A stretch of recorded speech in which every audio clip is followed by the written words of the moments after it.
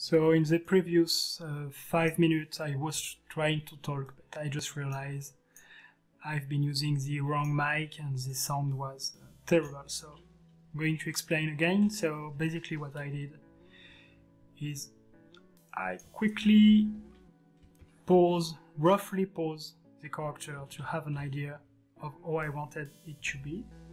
And I changed the proportion and the, and the pose of the of the frog to, to have like a rough idea of where the, element, the elements are going to be. So um, now what I'm going to do is I'm going to get back to DAZ 3D because it's it's much more easy to sketch a pose in DAZ 3D, which is really super convenient because we, you can distort characters in, in any situation.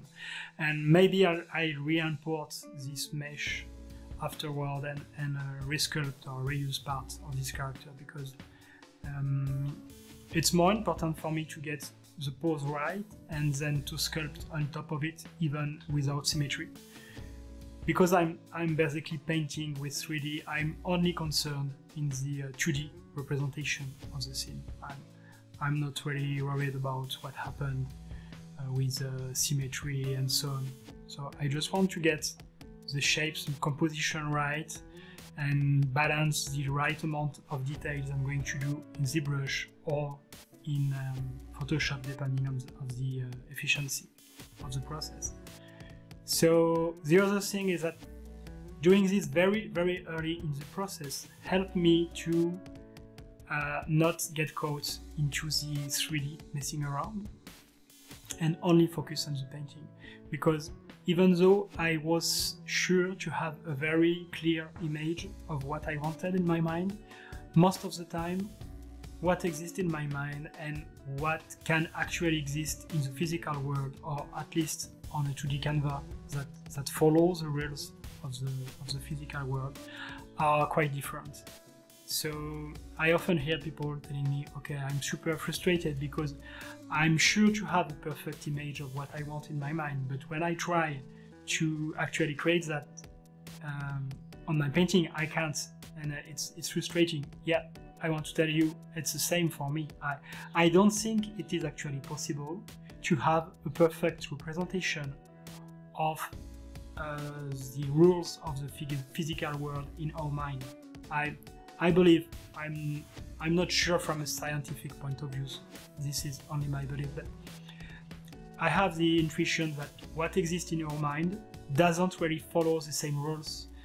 It doesn't really belong to the same uh, dimension, to the same physical world. So it's I think it's perfectly possible to to have a clear image in our in our head of something that absolutely can't happen on a 2D canvas. So for me, there is always this back and forth between my initial idea and what I'm building in uh, in uh, in 2D, 3D, 2D. That helps me to really create the image. So this is why I don't I don't try to solve everything from the beginning. I'm just trying to have an idea, and even the storytelling, the composition, the colors, the actual elements start to come together during the process. So there is like a lot of unexpected things that can happen. This is also why I wanted to record this real, as, as real time as possible to, to share my state of mind. So I was telling you that I was thinking to have like three creatures in the background, maybe a frog, a spider, and maybe another one. Right now I'm not sure because I can see that with that current ratio uh, I, I really want to have that frog extremely, extremely big to have like these really big shapes that is going to compensate with the details that are going to be created by the silhouette of this main character of the of the prey he's using to attract the fish that is going to go, go outside of the water. So this is a lot of very detailed information. So i need to have in the background very strong simple big shapes to compensate so the image still stay as readable as possible and also to really focus on the statement I want to tell. So the question is, are these two other background creatures really important for the story I want to tell? I'm not sure yet. So right now I'm starting to question my initial idea because maybe it's not going to be possible. So yeah, so I think it's important to always keep an open mind towards the initial idea and, and really understand that this is the creative process itself, the back and forth between the initial imagination, what actually happened on the canvas, that at least for me helped me to create images. So let's jump, let's jump in DAZ 3D. So this was my initial uh, DAZ 3D um, just pose where I was trying to to figure out the uh, the basic pose from the character. So I really I really like DAZ 3D because it offers like the ability to customize the rough shape. Actually, I don't care about all the surface details of the characters because I'm going to remove them. I don't care about the muscles and so on because I'm going to change a lot of that. But it, it offers me a basic um, human shape that can help me to, uh, to sketch a pose, which is really what I'm looking for. So let me grab the proper tool, which is Active Pose. And now, yeah, I'm going to try just to roughly pose character. So I want it to be totally unbalanced. So he's, he's going to have, uh, I, I need to look for the word because I'm not sure about it.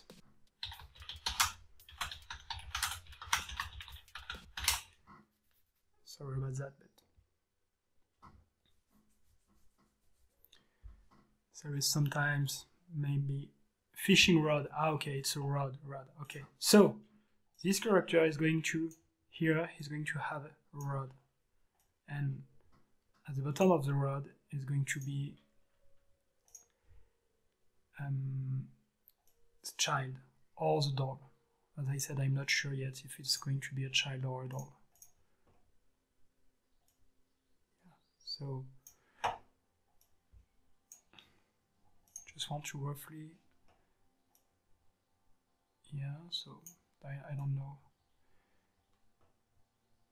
and I want him I was trying to explain that when I realized the, the mic was fucked up but I want him to use his umbrella to try to reach behind him and to try to, to keep to keep a balance on the unstable boat.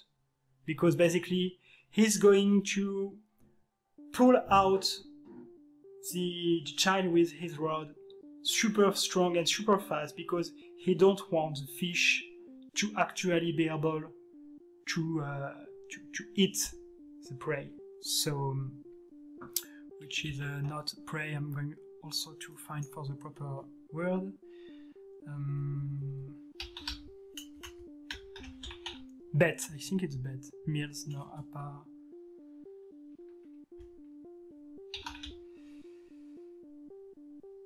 Yeah, ah, okay, it's not proper language. French. To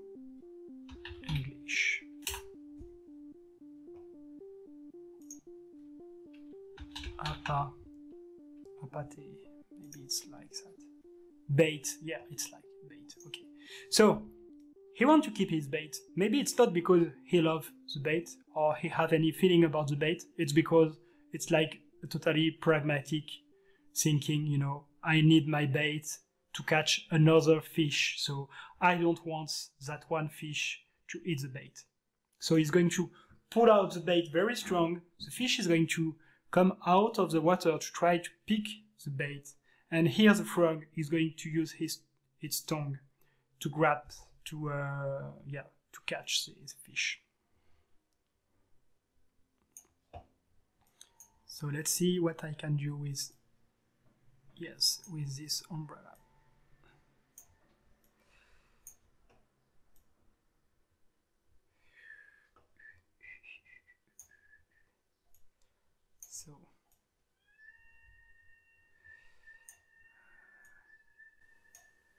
It's, it is super strange. There, there there's definitely um, a habit to develop with DAZ 3D where you, you can basically learn to ignore the uh, the appearance of the character because if you focus on on the character itself, it's going to destroy any ability to to be creative because it looks like totally terrible. So yeah, I try to really not focus on the actual shape of the character, but really try to uh, to keep in mind the the storytelling and the, the pose I want to I want to develop. But it takes it definitely takes some habit because it's it's like super super strange, really strange. Especially when you, you start to customize the uh, the shaping a bit strongly to have an interesting uh, an interesting uh, base shape. Yeah, so I guess for the strands he will he really need he he will really need to compress his um, his arm toward his, his chest. I really want to to make feel like he's he's using a lot of, of strength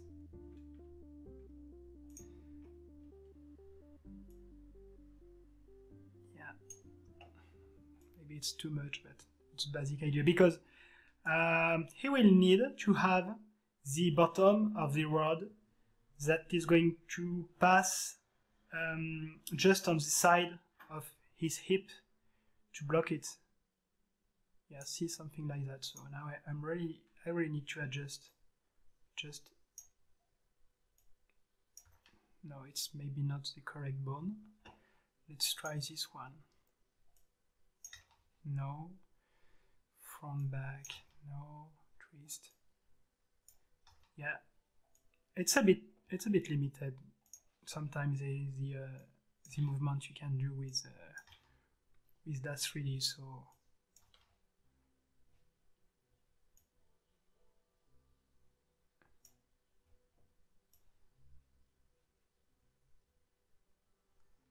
Yeah let's say let's say it's something in that in that kind of uh, of feeling. So I have to adjust the uh, the pose of the hand.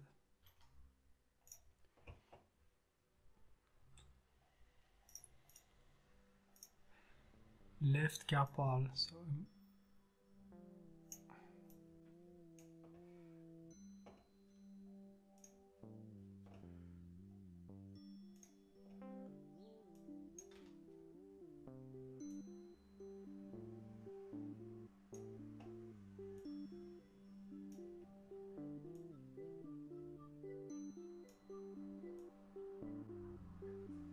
so I'm trying to get the uh, the angle right.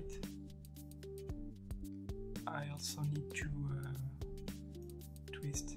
No, it's not the correct carpal. The other one.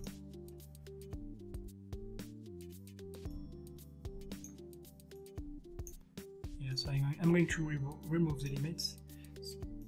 Okay, I, I'm, I'm not going to present the the overall. Uh, I mean that's really is uh, is pretty straightforward. Yeah, there is a lot a lot of documentation online, and uh, it's very it's very easy to use. And I think nowadays it's it's really a shame not to using because it's a uh, it's really really interesting creative tool. I mean, there is like some poses that are very very hard to to guess in 3D space, and uh, it's it's very great to feel more like an animator. I, I'm I am not an animator at all. That's not what I mean. But this is a bit. I feel it's a bit like the work of an animator, where you already have like an existing shape, a 3D animator, and what you try is really to to make this the um, the character feel right in a given situation.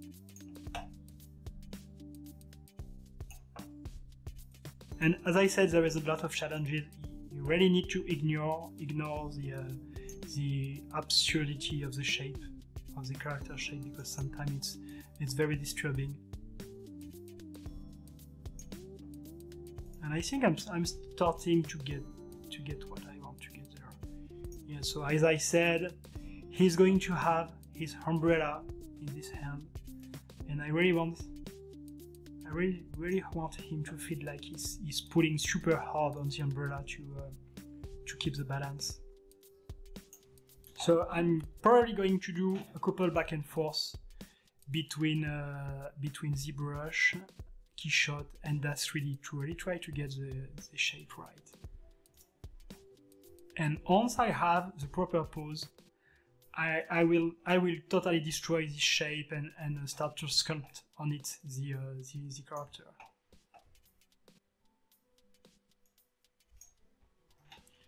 So now I want to have a, a little more twist.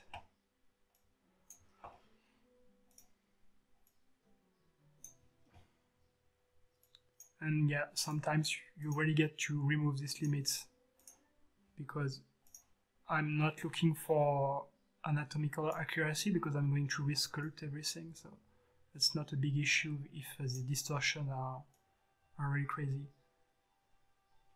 Which start to happen right now. I mean, the, the neck is is doesn't make absolutely any sense at all.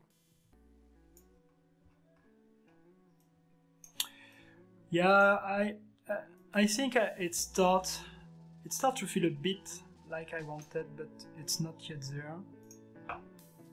Maybe I need to put this on the side. I don't know.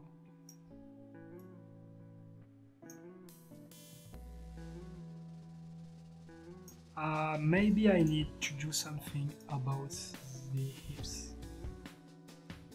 Let's see. Yeah, yeah, I think I think it, it will feel better like that. So I am really looking for this triangular shape. When he's going, he, he will have his coat on him. I really want this triangular shape. I really like this, this triangular shape which is going to contrast with the, uh, the ellipse of the, uh, of the umbrella which is going to be there. And uh, yeah so it's going to be the rod. It's going to be in this direction. The rod here. And just at the bottom it's going to pull very hard on the on the rod to get the child out of the mouth of the, of the fish.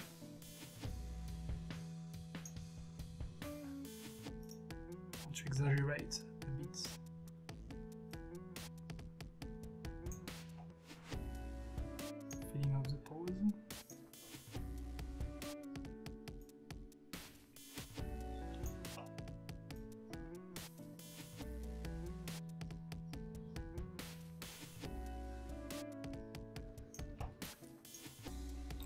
Let's, let's save this.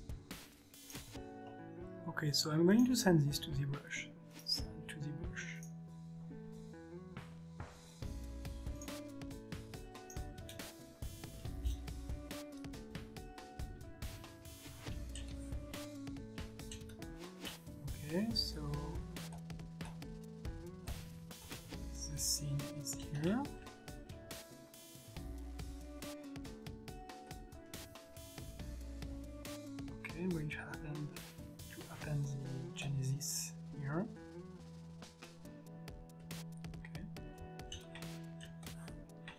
It's, it's already in the proper place because uh, I kept my um,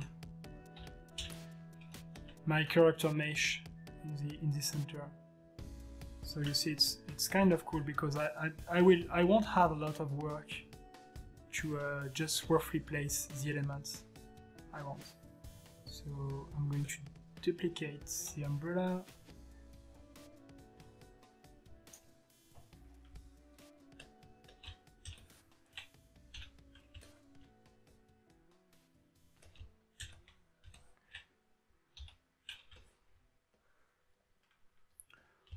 I, I, don't care to, to have like things that doesn't match.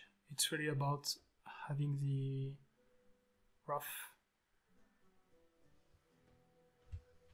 I'm even going to remove the codes and any, anything else right now.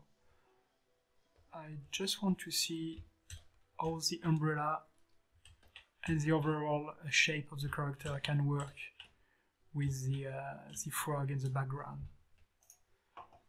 So let's see. Okay.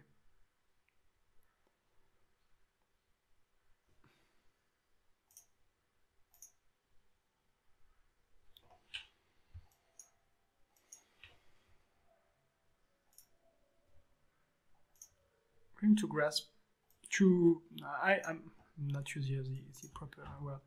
I'm going to take a stronger sun and sky.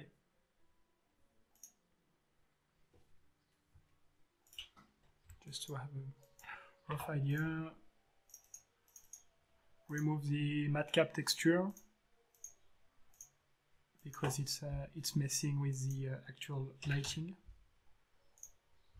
When you send when you send um, a matcap from ZBrush to KeyShot, it records the actual matcap lighting information on a on a lighting map. So you really want to remove this lighting map because it's going to convey another lighting information if, if I'm using a flat see a flat uh, materials which should be perfectly gray you see that there is already lighting information embedded so you really want to remove this uh, this map and make sure to use a, a diffuse yeah diffuse materials and I, I always take a 50% gray to make sure I, I have a, a proper uh, lighting scale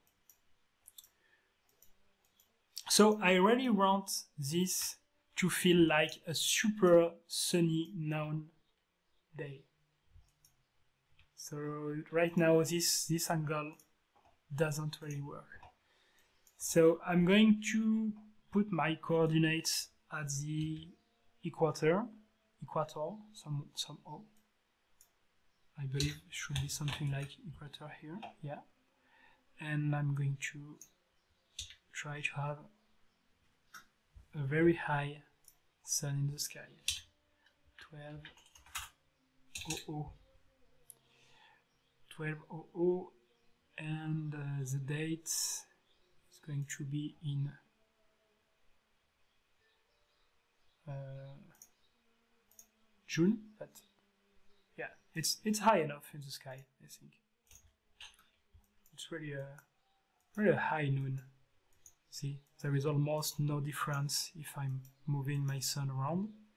So it's a good start and maybe after that I'll, I'll, add, I'll add a slight angle, I, I don't know. So I'm going to save this one too. Okay. I'm saving like a lot because KeyShot tends to, to crash once in a while, especially when sending a lot of updates from, from ZBrush. So I'm just switching to full simulation to really have like some, some really nice materials. And to see all the how the lighting will work. So maybe I can I can adapt the uh, the angle of the sun afterward.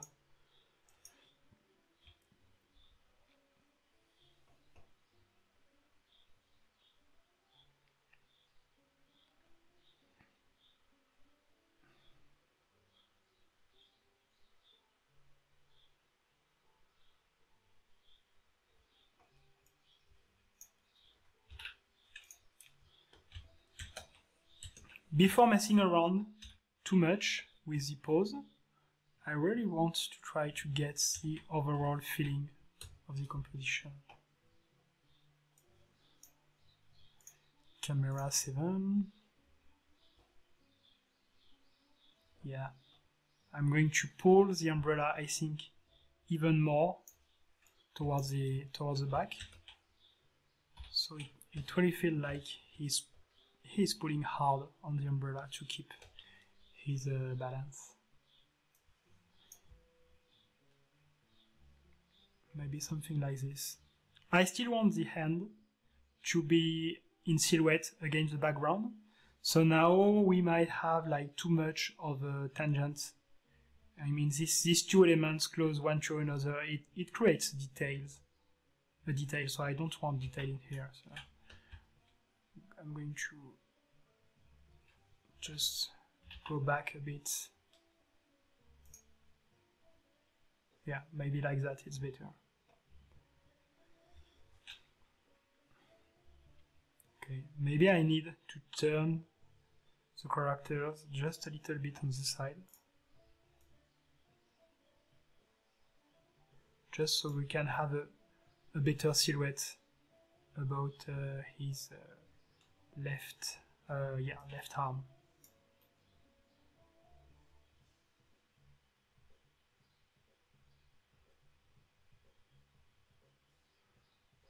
Okay, it's, it it really asks a lot of imagination, and I'm really aware of this. It's it's not easy right now to to really have a, um, a good projection of what of what I'm going for. Sorry about that. But right now I, I'm I'm really this, this is like a lot of unconscious things that I'm doing, but I know that I'm unconsciously trying to align this uh, strong uh, straight line here. I'm thinking, thinking about the curve that is going to to occur because of this of this line here. So maybe later I'll, I'll have like something emphasizing the curve in here. I still don't know what curves the the fish is going to have. So I think before even sculpting this character, I really I really want to have all the elements in place because it wouldn't make sense to start to add details uh, if I don't have like a, a, good understanding of all the the silhouettes of each elements are going to structure the composition. Most of the time when you are working straight from 2D, you start to create the structure, which are the, the abstract lines that are going to set the uh, the borders for the for the abstract shapes. I mean, like shadow is an abstract shape, light is an abstract shape, and it creates triangles, square, uh, lozenges, curve, and so on.